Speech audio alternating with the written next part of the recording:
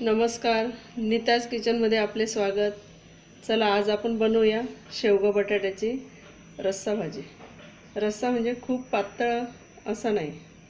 चपातीवर लावून खाता येईल असा. त्याकरता मी इथे पाव किलो शेवगा स्वच्छ साल काढून बटाटा त्यात एक बटाटा घातला आहे आणि ते बॉईल करून घेतले अगदी थोडं मीठ घालून. पूर्ण शिजवायचं नाही आपल्याला अर्ध शिजवायचं आहे इकडे आपण वाटणामध्ये एक इंच आलं दोन हिरवी मिरची आठ ते दहा लसूण पाकळ्या थोडं खोबरं एक कांदा टोमॅटो. हे आपण सगळं मिक्सरमधून फिरवून घेणार आहोत. जिरं मोहरी फोडणीला दोन चमचे मिरची पावडर एक चमचा हळद पावडर एक चमचा धना पावडर पण घालणार आहे. चला आपण कृतीकडे वळूया आता. प्रथम वाटण्याची तयारी करून घेऊया. हे सगळं एकत्र वाटून घेऊया. हे जरा राऊंड मारून झालं की कांदा नंतर सेकंड राऊंडला घालू कढई गॅसवर गरम करून घेतली. त्यात एक चमचा भाजीचा. एवढं तेल हवं आहे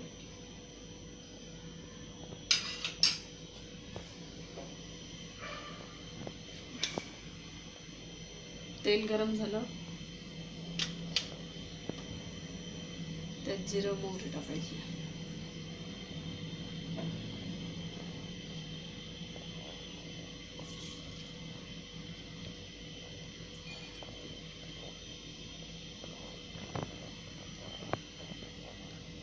अगदी थोडं बेसन पीठ आहे. अर्धा अर्धा टीस्पूनच आहे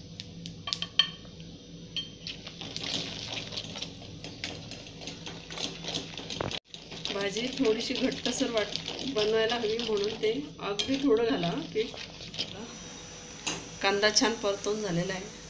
त्यात आलं हिरवी मिरची लसूण आणि खोबरं याचं वाटण घातलं आहे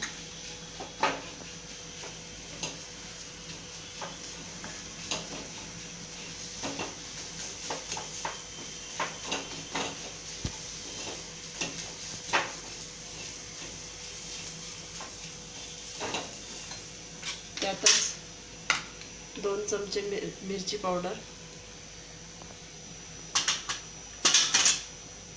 एक चमचा हळद. एक चमचा धना पावडर.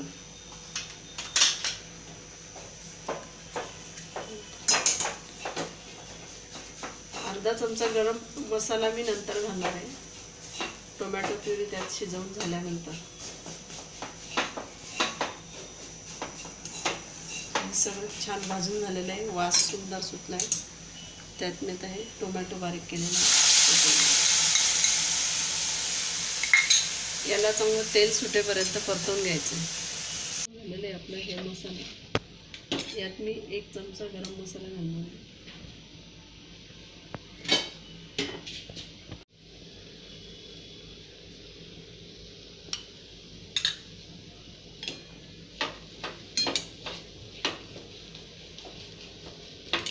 शेवगा उकडताना मी त्यात मीठ घातलेलं आहे. तर भाजीत मी मीठ नंतर घालणार आहे.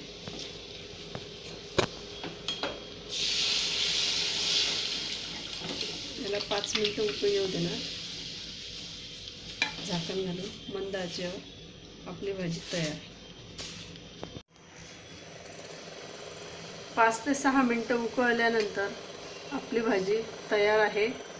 आपण बघू शकतात. टेक्चर तिचं किती सुंदर आलेलं आहे आणि कलर वा लाजवाब. यात मी आता थोडं मीठ घालणार आहे कारण मी शेंगा उकळताना मीठ घातलं आहे ते तेवढं पुरे होणार नाही.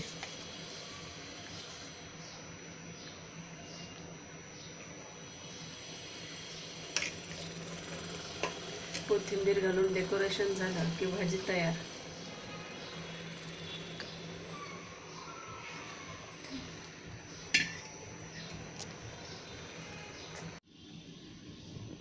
चला आपली शेवगा बटाटा ही भाजी तयार आहे. पूर्णपणे मस्त जेवण करा स्वस्त राहा. पोळी भात कशाबरोबरही खाल्ले तरी चालेल. वा छानच झाली भाजी. लाईक करा शेअर करा सबस्क्राईब करा आणि नक्की करून बघा आणि आम्हाला आपल्या प्रतिक्रिया जरूर जरूर जरूर कळवा. थँक्यू